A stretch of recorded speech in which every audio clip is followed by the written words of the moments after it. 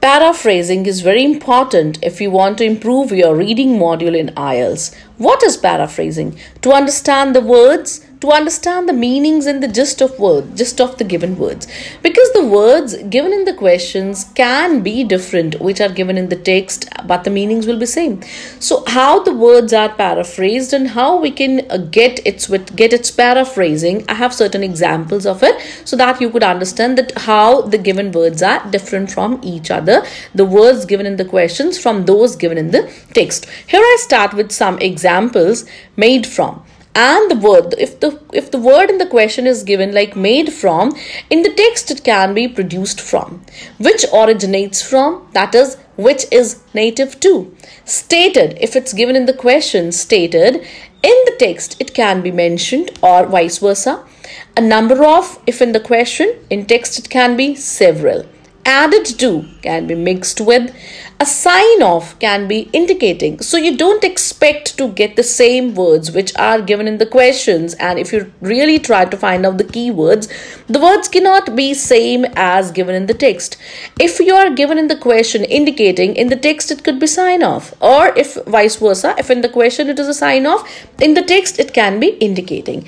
And participating in that is attending. Attending and participating it's one and the same thing.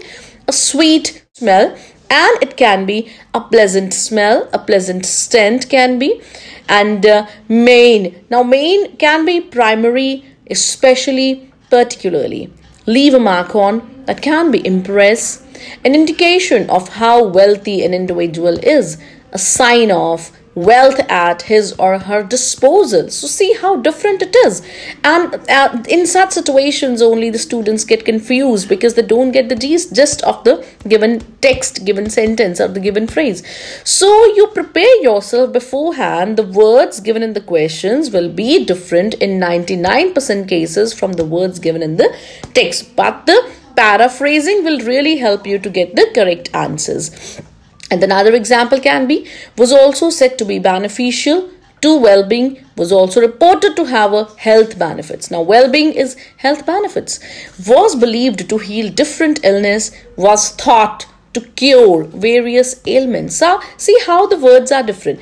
I said believed. Now the, another, at the, another side the word is thought heal different that is to cure various illness. It is taken as ailments. So this is how the words are manipulated. And if you want to improve your reading part try to get the synonyms of the maximum words you can. This will definitely boost your score in IELTS reading module. Thank you